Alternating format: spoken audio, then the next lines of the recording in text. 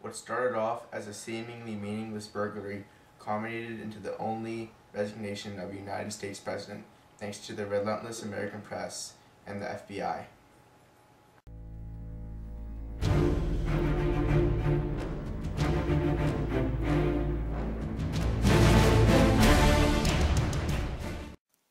The year was 1972, and United States President Richard Nixon was campaigning for his second presidency term.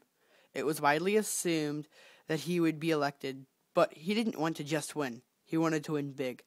He wanted to have the largest margin ever in an election, though ultimately this would be his downfall. On May 28, 1972, five burglars broke into the Democratic National Committee headquarters in the Watergate Hotel complex in Washington, D.C. The horses in the house was the code used to indicate that they had broken in. Two of the office phones were wiretapped, and Alfred Baldwin, part of the team of burglars, would listen to conversations in the office for 20 days, but then complications arose with the bugged phones. On June 17, 1972, the team of burglars broke back into the hotel to fix a faulty bug. Hotel security guard Frank Wills noticed that a previously locked door in the complex was taped open and suspected illegal activity. After searching, he found the men in the hotel complex and arrested them immediately. At first, nobody connected the break ins to the White House, except for two reporters that worked for the Washington Post, Carl Bernstein and Bob Woodward. They released an article in the day following the burglary that said that former FBI and CIA members Gordon Liddy and Howard Hunt, also part of the burglary team, had direct connections to the White House because they were members of the committee to re-elect the president. They received this information from a secret informant, FBI Associate Director Mark Felt, whose identity was not revealed to the public until 2005, and at this time was only known under the code name Deep Throat. For many months to come, he would be an important source of information for Bernstein and Woodward, who would become the prominent reporting team in the Watergate scandal. Then, on August 1st, 1972, it was reported by the Washington Post that a $25,000 check from the committee to re elect President Nixon was deposited in the bank account of one of the burglars. At this point, it was becoming apparent that the Watergate burglars were employed by the committee to re elect the president but in an effort to stop more information from being uncovered, Nixon and his chief of staff privately discussed how to get the CIA to tell the FBI to back off of the investigation of the burglary. Still, when questioned by the public, a White House spokesman said that he would not comment on a third rate burglary, and in reference to the recent Washington Post articles, Howard Hunt said that Woodward and Bernstein have written numerous articles about Watergate. Their stories have contained much fiction and half truths and this was the general consensus across the nation because, even though there was substantial evidence to prove otherwise, the public had faith in their president and government. In November of 1973, it looked as though the Watergate scandal was fading away from the eye of the public and press. Nixon was reelected by the greatest margin ever. He took over 60% of the votes, crushing the Democratic nominee, Senator George McGovern, in reaching his goal. In the following months, Gordon Liddy and James McCord were convicted of conspiracy burglary, and wiretapping in the Watergate incident, and five others involved in the burglary pled guilty. The nation was not at all worried that Nixon may have been involved in the Watergate burglary, but that was only because the convicted men were being paid to keep quiet about the White House's involvement. But that all changed when burglar James McCord wrote a letter to Judge John Sirica saying that he falsely testified due to the fact that he was under great pressure, and that the Watergate burglary was not simply a re-election committee operation, but involved other government officials. This led to the ensuing investigation of the White House. At this point, Nixon and his staff became very worried about what information would be uncovered by the press. As well as the FBI, John Dean, a White House counsel, told Nixon that there was a cancer on the presidency and about $1 million in so called hush money will need to be paid to the men who were involved in the burglary in order to keep Nixon safe from the investigation.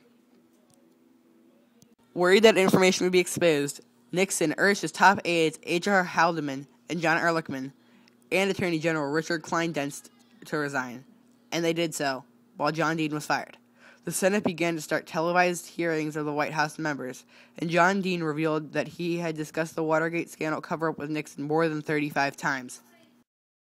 During the hearings, Alexander Butterfield, former presidential appointments secretary, testified that since 1971, Nixon had recorded all conversations and phone calls in the Oval Office, and Nixon was asked to give up the recordings, known as the Watergate tapes.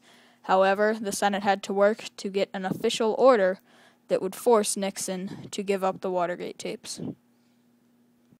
Then, on July 18, 1973, Nixon apparently ordered for the White House taping system to be shut down and refused to give the Watergate tapes to the Senate Watergate Committee. His refusal provoked complaints across the nation about Nixon's abuse of power, as Nixon also forced several officials to resign. Then, on the night of October 20th, 1973, an event occurred known as the Saturday Night Massacre. President Nixon fired Special Prosecutor Archibald Cox as Attorney General Elliot Richardson and Deputy Attorney General William Ruckelshaus resigned. Nixon had become desperate in his efforts to keep his own name clean. Talk around the nation began that Nixon would face impeachment if he continued to create problems in the investigation, and Nixon's staff began transcribing the Watergate tapes. Then, in November, the Nixon administration announced that there was a problem with transcribing the tapes. Supposedly, Nixon's secretary, Rosemary Woods, was working on the transcripts when she accidentally erased an 18 and a half minute section from one of the tapes, though many believe that this was not an accident and that she meant to erase this section. Nixon then gave a televised speech in which he said to the nation, I am not a crook, and insisted that he was innocent. But the previously naive nation was no longer so. They believed that Nixon had been involved in the Watergate scandal, despite what he said. On February 6, 1974, the Senate finally instructed the Judiciary Committee to consider articles of impeachment for Nixon, and on April 30th, the White House released edited transcripts of the Watergate tapes to the public, avoiding releasing the recordings themselves. Though on July 24th, the Supreme Court ordered Richard Nixon to release the tapes. This would be the ultimate piece of evidence needed to prove Nixon guilty. Important evidence would be found in a recording from June 23, 1972, labeled the Smoking Gun Tapes by the press, which proved that Nixon had obstructed justice six days after the burglary. With Nixon saying that the FBI investigation would expose four of the burglars, he said, it would be very detrimental to have this thing go any further. This involves the, these Cubans, Hunt, and a lot of hanky panky. So he decided to get the CIA to tell the FBI to stop investigation and simply create a cover story for the burglary. However, the CIA director refused to comply with Nixon's plans. Because Nixon was attempting to interfere with the Watergate investigation, he was breaking the law. On July 27, 1974, the House Judiciary Committee passed an article of impeachment against President Nixon for obstruction of justice. In the following days, two more articles of impeachment were passed for abuse of power and contempt of Congress. With the threat of impeachment, the president became very worried and even mentally unstable at times. On August 8th, he addressed the nation.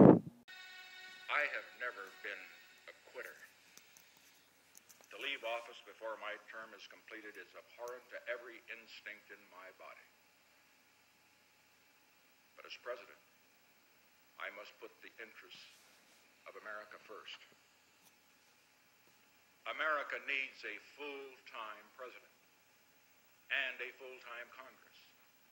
Therefore, I shall resign the presidency effective at noon tomorrow. In order to avoid being impeached, he resigned. For the first time ever, a United States president had resigned, and suddenly the American public that always had so much faith in its president was skeptical of their government. These skeptics would make sure that presidential candidates could be trusted, always.